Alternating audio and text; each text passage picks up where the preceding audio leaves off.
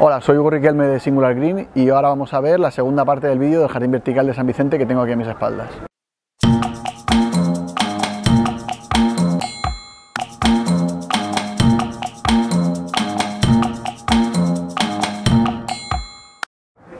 En esta segunda parte del vídeo vamos a ver todo lo referente a las plantas, a las especies vegetales que hemos utilizado en el jardín y además el mantenimiento que tiene este jardín.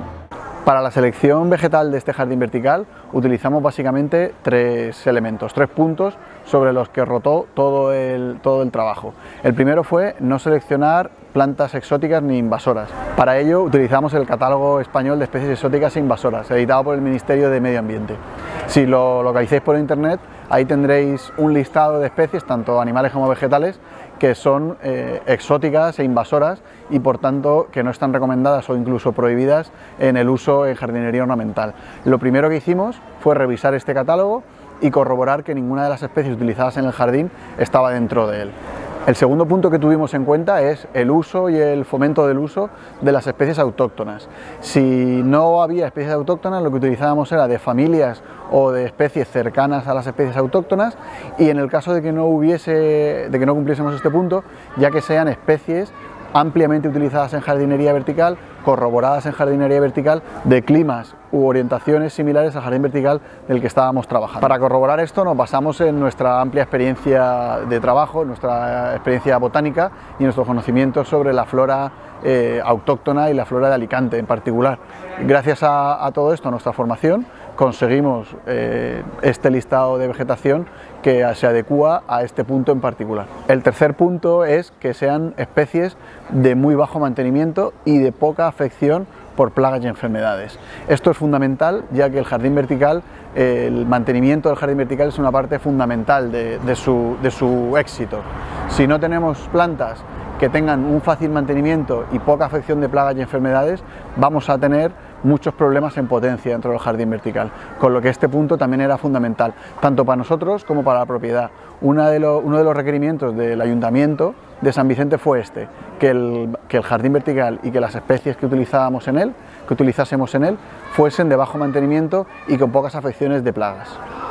Y ya sin más, pues vamos a pasar al jardín vertical, vamos a verlo por diferentes zonas, vamos a ver las zonas de menos insolación, las zonas de media insolación y las zonas de pleno sol, de máxima insolación, y vamos a ir conociendo las especies que tenemos en el jardín. Vamos para allá.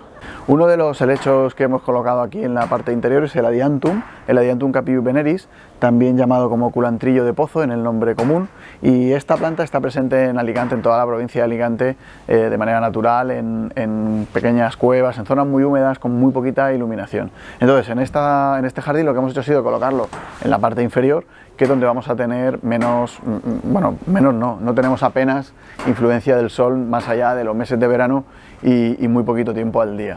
Entonces esta planta está funcionando de manera perfecta en la parte baja, por esto que os estamos diciendo, está en su sitio, tiene mucha humedad, tiene poquita, poquita iluminación y está perfecto.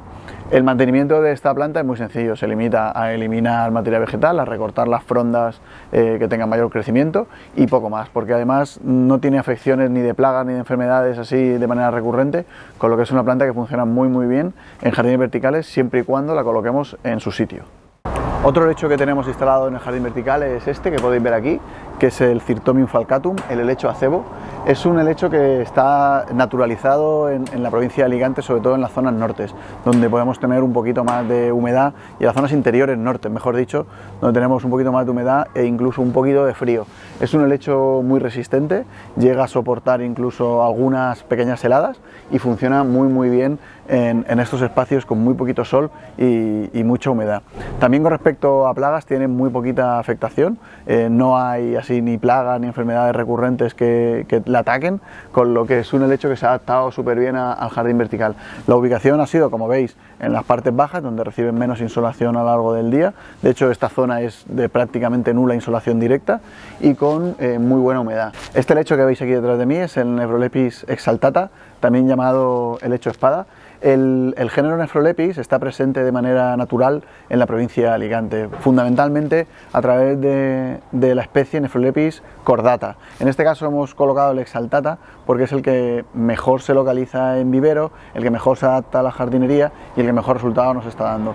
Aunque sean especies diferentes, la naturalizada la cordata y la, utilizada la exaltata, eh, prácticamente en apariencia son muy similares. Lo que ocurre es que este se adapta mucho mejor y es eh, ligeramente de crecimiento más rápido. Entonces por eso optamos por esta, por esta especie.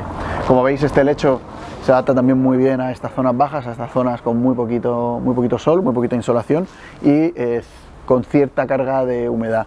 El mantenimiento es muy sencillo, básicamente recortar frondas, eliminar materia vegetal, una, dos o tres veces al año en función de, de cómo tengamos el jardín, de cómo queramos mantener la planta y sacar esa materia vegetal para que, para que se rejuvenezca la planta. Y en cuanto a plagas, pues apenas tenemos problemas tampoco, son plantas muy resistentes, son plantas con muy poquitas afecciones tanto de plagas o de enfermedades, con lo que funcionan de maravilla en estos entornos de jardinería vertical de poca iluminación y de, y de bastante o de más humedad de lo normal. Una de las plantas que hemos utilizado en la zona media del jardín eh, es el Asparagus sprengeri.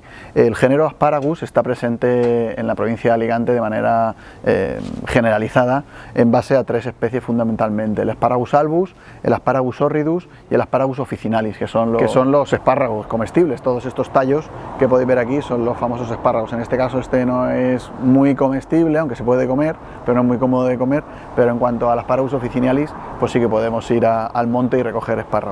En este caso, esta es la, especie que hemos usado, la, la Sprengeri, o Sprengeri, según como se lea, que la hemos colocado en las zonas medias del jardín vertical. Estos son zonas que reciben cierta insolación directa, pero no están a pleno, pleno sol. Es decir, son zonas de medio sol, eh, de principio, de media sombra y demás. Es una planta que funciona súper bien en jardinería vertical si la colocamos en su orientación correcta. Además nos va a estar siempre eh, indicando si tenemos buena presencia de abono. En cuanto no tiene buena presencia de abono empieza a amarillear las hojas nuevas, que es señal de que, tenemos falta de nitrógeno, con lo que es muy buen indicador y se adapta súper bien a, la jardinería vertical. Llevamos un montón de tiempo usándola y siempre con, mucho éxito. Em, el mantenimiento de esta planta también es muy sencillo, se basa fundamentalmente en recortar excesos de vegetación y ya está, y además soporta muy bien podas severas, es decir, si tenemos un exceso de crecimiento, si queremos hacer un recorte potente, podemos recortar enseguida, recortar sin ningún problema, que nos va a rebrotar desde, la raíz, desde cepa, sin, problema, y va a adaptarse muy bien a esta, a esta poda. También en cuanto a plagas y enfermedades es una planta que resulta muy muy bien porque apenas tiene afecciones, es decir, no hay plagas y enfermedades que ataquen el espárrago, es una planta dura, si la tocáis es, bastante dura, entonces los, insectos que comen hojas y demás no son muy amigos de, estas plantas. Así que nada, esto es el Sprengeri y seguimos viendo plantas. Otro lecho que hemos colocado en el jardín vertical es el Diopteris atrata. Si bien el género Diopteris no está presente en Alicante de forma natural, sí que existen zonas en las que se ha naturalizado y aparte de minería ornamental.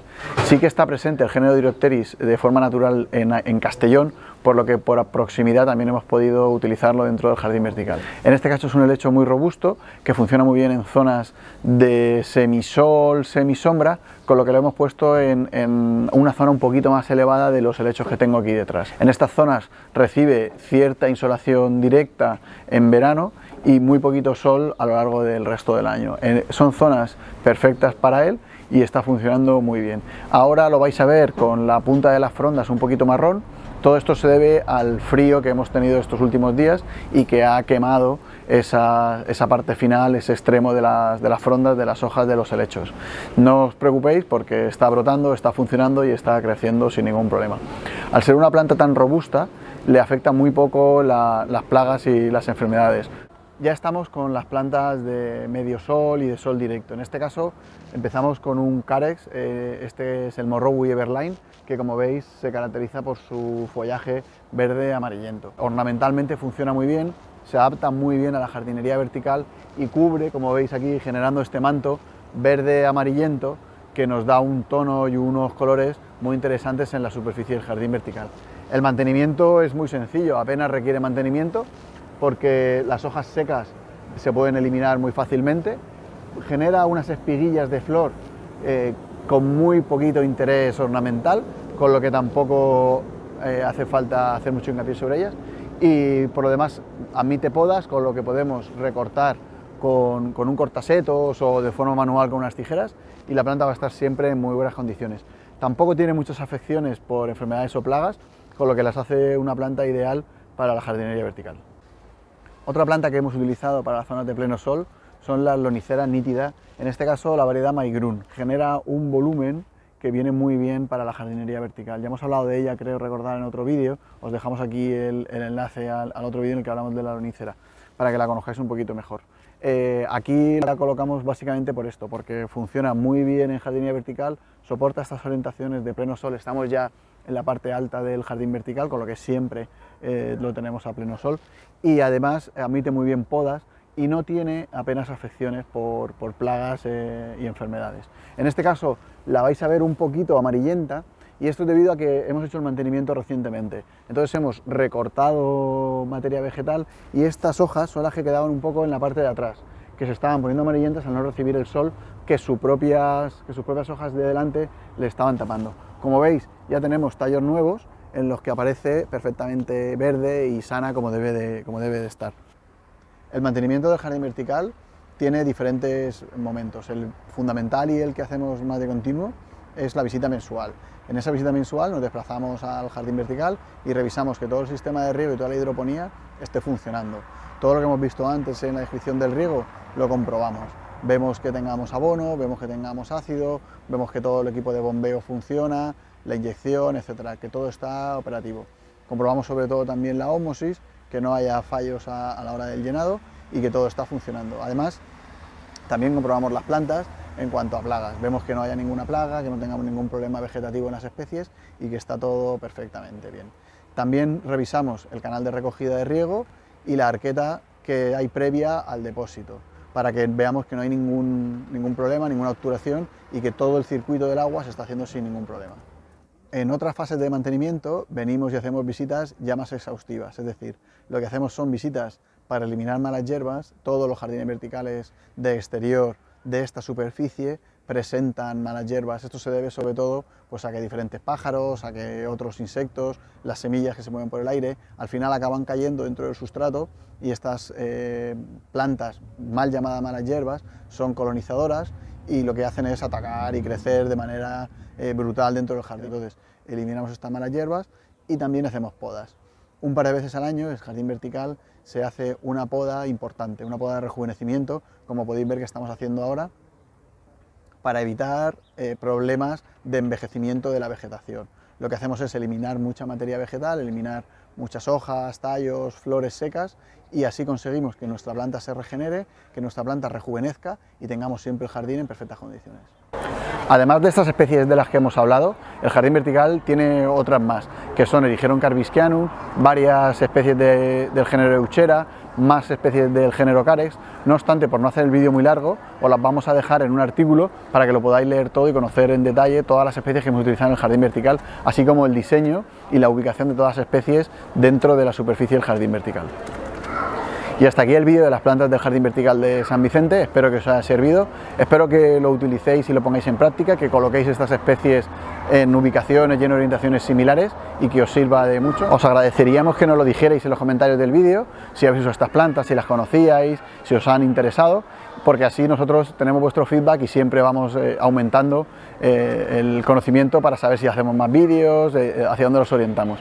Y nada, pues os invitamos a que os suscribáis, campanita, etcétera, y nos seguimos viendo en otros vídeos. Hasta luego.